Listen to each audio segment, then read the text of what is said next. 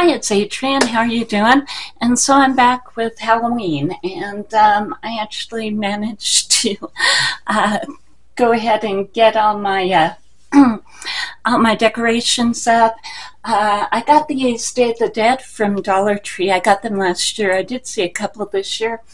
This is actually really fun. It's a pumpkin and it's uh, purple with lace on it and a little spiders. And this I got this year over at Dollar Tree. Um, I also got the apothecary sign over there. And so I think it's really fun and really colorful. So I'm uh, uh, liking my Halloween decorations, and it goes with the collection that we're looking at today, and that's going to be the Wet and Wild and The Nightmare Before Christmas. And so this is available on Wet and Wild, also over at Ulta. And I think it just got over to Ulta right now. As far as what I went ahead and started with today, um, I did go ahead and start with the e.l.f. bronzing drops in the rose gold. And let's see. And um, the it's uh, the Essence hand now I can't find it. Um, it's the Essence filter, the magic filter in light. And so it just gives you a little bit of glow. And I went ahead and mixed that with the Wet and Wild Tinted Hydrator. And this one I actually picked up yesterday. I got it in light and I had had it in fair. Um, it has squalane and hyaluronic acid, and it's one of these really moisturizing formulas. And it felt um, it just feels really good on the skin. It feels like you're getting a lot of moisture. And then as far as what I went ahead and did for the bronzer was the NYX, and this is the Buttermelt and the Butta Cup. And so that's this one. And then um, what went ahead and did uh, for the cheeks, it's going to be the Wet and Wild. And this is... Um, part of uh, lip and cheek. So any of these you can go ahead and use for lip and cheek. Um, I did go ahead and put this one on the cheeks today. And then I did uh, this one on the lips.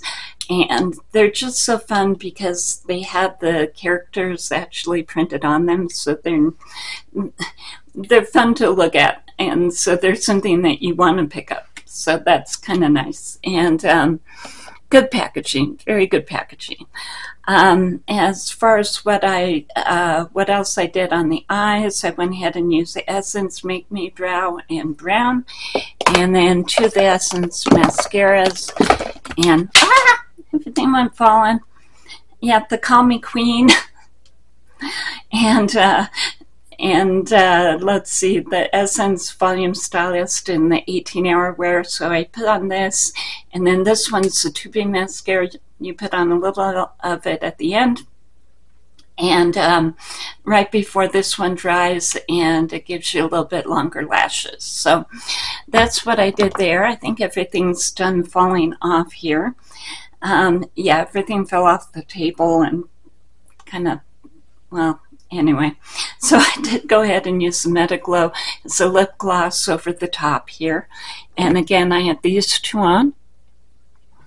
And then I did go ahead and use the, uh, the Nightmare Before Christmas as far as my eye palette today. Um, it does go pretty cool toned, but you can, as you can see uh, you can get a warm toned look with it. I'll be back with a cool toned look, but um, I did go kind of warmer today. And uh, these three shades right here all look pretty gold, but they're going to be different. This is going to be a light gold, this one's a darker gold, and this one's green. And uh, but they do look pretty much the same in the pan. So um, as far as what I actually have on the eye today, I did this one in the crease, this one in the outer corner. Then um, on the outer, or pardon me, on the inner half of the lid, I went ahead and did uh, some of the darker gold and some of the lighter gold. And then on the outer part of the lid, I did the green. I did go ahead and put this glitter, which is really pretty duochrome. It goes uh, yellow to green and yellow, green, and orange. And so I put that all over the lid.